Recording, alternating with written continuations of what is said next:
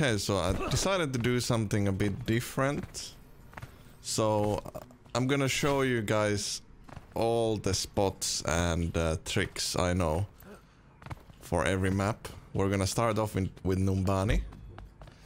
So if you're attacking, you've probably seen me do this a lot of times, but yeah, I'm gonna show it anyways. If you're attacking, you can uh, go up here and stand here. You should like wall climb and then just keep running forward midair and crouch at the same time. So then you're running against the sign here, like this, and then you're gonna gonna land on the place, and uh, then while you're still crouching, if you wanna strafe to the right to peek this place, you you only wanna press the W key to run forward. Maybe even load up your bow, so you're crouched, your bow is loaded, so you move extremely slow. And then you just hold forward key and you're gonna keep moving to the right slowly. And then you can peek like this. It's good to like, they might have an Ana at this spot here. Or someone might be there. Or if they're dumb enough, they might have someone just standing over there. You can get all the way to here, if you're careful. To even peek someone who's down here. But then you're extremely exposed. But yeah. The reason why you should crouch and stuff is because you see it's really easy to fall down from this spot.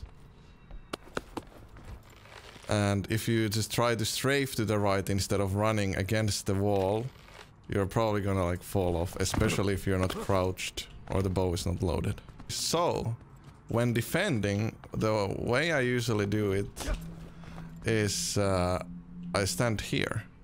Or I crouch, I try to go as far back as possible.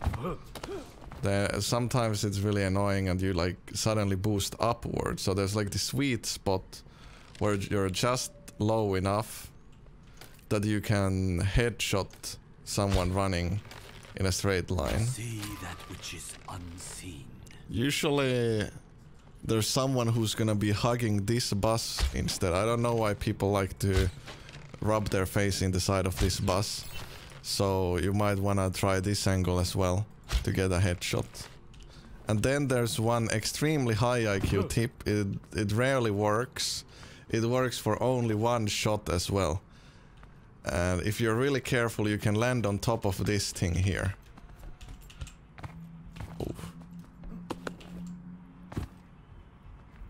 And then you can do one perfect jump shot and headshot someone straight from the spawn, pretty much. Well, it's gonna, the moment you jump, it's gonna break this thing here, so it's uh, it's uh, it's one of those unnecessary swag moves. It's if you do that trick, then you probably won't have time to set up for this spot here, which lets you get a lot of shots in. Like sometimes I I get like a couple picks and uh, I just spam their tanks. I'm at like 70% ult charge. I back up up here. Then they start running to this position and I fill up the rest of my ult before they even get to do anything. And then uh, I can just dragon them when they go into the high ground here. Uh, free kills. Although since Baptiste was introduced into the game, he ruins all the fun of course, so if they have a Baptiste that won't do anything at all. Here's a swag flank spot. Like, uh, let's... Oh, uh, let's say that you you lose a point when you're defending. You like you you die once, you're coming back, trying to get some shots in, and they're behind this wall here, just capping the point.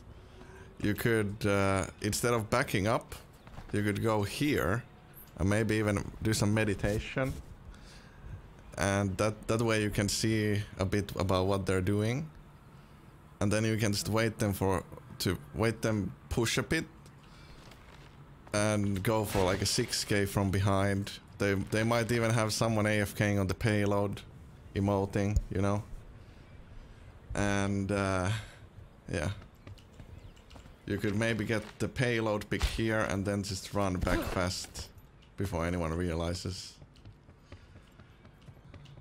Okay, here's a. Uh, it's this is also pretty much a swag spot. You could make something happen. Like sometimes when I'm defending, I I like to go all the way around and shoot them when they're coming out of the spawn. Like I usually do this after we team kill them. So while while they're regrouping and we have pushed forward, they will usually stand here and in here, maybe even on the high ground. So then I can easily get a pick here. And then they might start chasing me. So then I will run down here and go up here. Also, this is for the noobs out there. Like, so a lot of people don't realize you can wall climb up from here. So it's just a small tip. Also, another pretty good hiding spot that I sometimes use is wall climbing up here and then just like crouching running against the wall using the same trick that I used when I'm on top of the sign in the first uh, first tip that I showed. And then just, like keep running against this wall try to just get into the corner. So this way no one can see you from the low ground or if someone comes to the high ground they won't have any idea that you're hiding in this corner here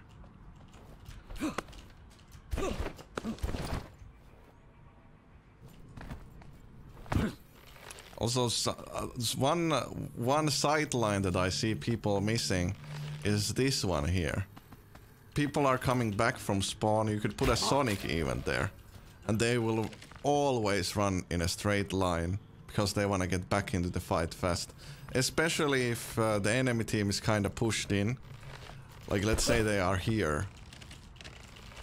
You could get a bit greedy and just overextend, but instead of trying to get pick from them, you can just get a clean headshot from here, from someone that's coming back from spawn, and they will just be mind blown. Like, how how can the Hanzo push so deep?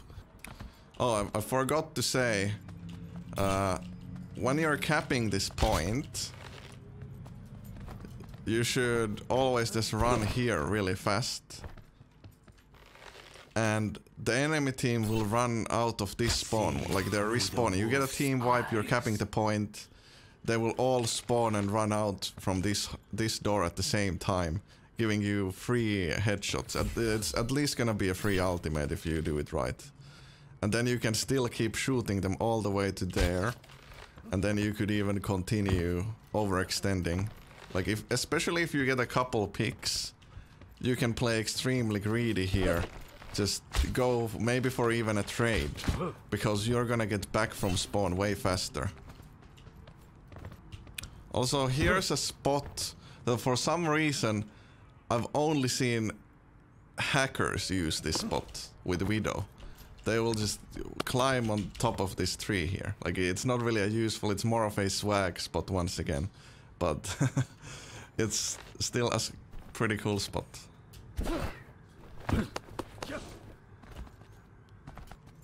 Also, one mistake that I see Hanzo's doing when they try to contest this high ground here is they try to wall climb up from this side. But if you don't do it perfectly, it's it's not gonna work. Like you're gonna slide off the wall and don't do anything. So you should always just wall climb from this side of the door and then just keep holding space in case you don't climb high enough because then you can just grab the ledge. Like you, if you get a bit unlucky, you will still grab the ledge. The reason why you want to hold space is if you let go of space and then try to press space again to grab the ledge, you're gonna you're you're gonna use lunge. Your lunge is gonna go, go on cooldown, which might uh, completely fuck you up when you try to run away. Like let's say you climb back, you climb up here to contest someone. Your your lunge is on cooldown. There's a hog running after you, so then you can't lunge backwards to dodge the dodge dodge the hook. Also here, when I'm running away or even when I'm attacking, this spot has saved me so many times. Like, it's not even technically a spot. I'm just climbing up the wall, but like, you climb on top of the leaves and it makes it really hard for the enemy team to see where you're going. So you could just climb up, ninja style, and then go behind the wall and they have no idea what where you went. Also, here's another flanking spot. You could even go for the meditation here to see behind them or see around you uh, like what's happening. The this spot is pretty much only useful if if you somehow can rush behind the enemy team after you wipe them. Thank you so much for watching. I hope you enjoyed this video. Leave your thoughts about this type of content in the comment section below. I'm really interested to know what you guys thought about this video. But uh, nevertheless, I hope I'll see you in the next one. Bye bye.